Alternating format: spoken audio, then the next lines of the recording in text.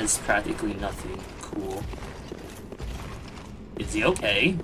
He's just walking in circles. Uh, isn't he supposed to have a path?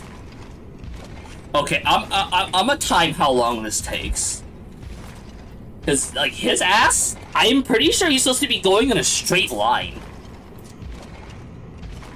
Like he's supposed to have a patrol route and not be going in circles. What the fuck? Man. Man! Dude! I don't think this is normal, but it's understandable.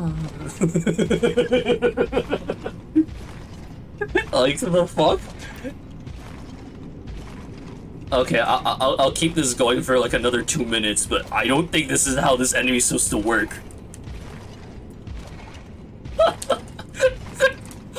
like, what the man? Dude, I, I don't know. This game is like Bethesda level stuff like polished for me.